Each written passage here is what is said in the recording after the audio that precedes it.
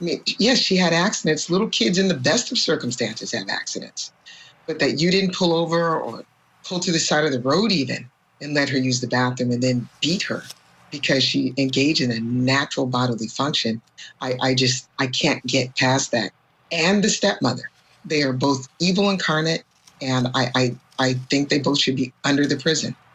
This is just mm-hmm. horrific that this has happened. Mm-hmm. Under the prison. Uh, amen, Vonda. Amen. Uh, I, um, you know, and I tell me if you were like this, you know, um, being in a prosecutor, and I, I did not uh, handle child abuse cases, and I, I, I. thank God that I didn't. I, I wouldn't have the stomach for it. You know, I worked in a very large office, and we had specialized units for everything, and there were prosecutors who would routinely handle them, and I, I would say to them, like, God bless you for doing this work because I, I think I would be in tears every day and just wouldn't be able to emotionally detach myself. I mean, it, it takes a real rotten, evil person to harm a child, a defenseless child who can't protect themselves.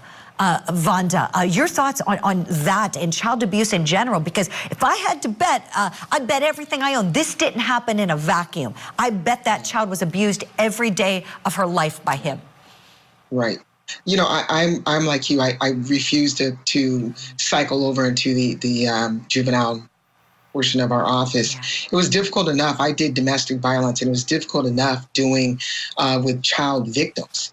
So, I mean, not victims, but child witnesses. So I just, you know, I, I, I have a problem with the uh, the woman whose house they stayed in. I have a problem with the landlord of the apartment complex. That body was was decomposing, and they someone had to have smelled that body.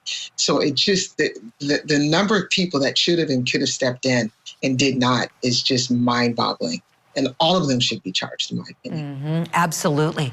Uh, and for anyone wondering, I mean, this affidavit is very detailed. I think it's about 50 pages, and we're literally reading it as, as I'm talking to you, Vonda. Uh, Little Harmony's body never found. Apparently, uh, she was dumped in an undisclosed location.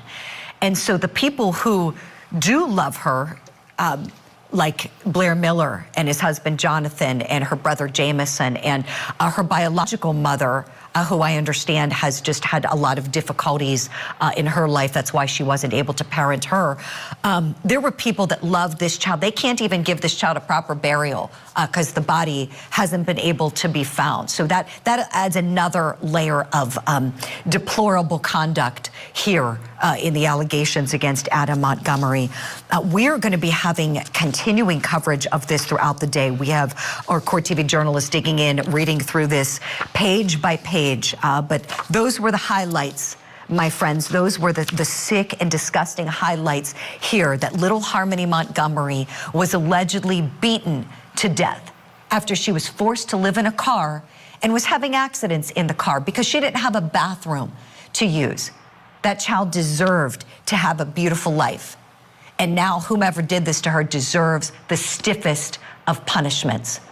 We're going to take a quick break. When we come back, we'll return to Wisconsin for more.